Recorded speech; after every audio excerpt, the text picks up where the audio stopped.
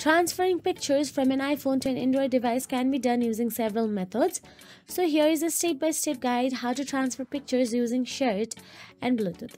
So let's get started. Firstly, ShareIt is a popular app for transferring files between iOS and Android devices.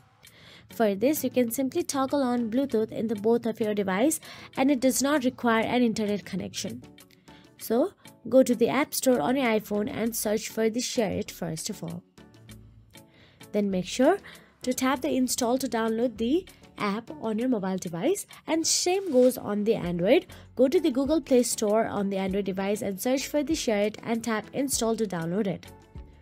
Now once installed, open ShareIt on both your iPhone and Android devices. Now once inside your ShareIt, tap on the send on your iPhone and on your Android tap on the receive. Then the devices will search for each other.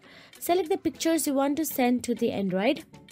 Then on once both devices find each other, tap on the device name shown on the iPhone to connect and send the photos or videos. So that is it. If you found this video helpful, please like, share and subscribe and thank you so much for watching.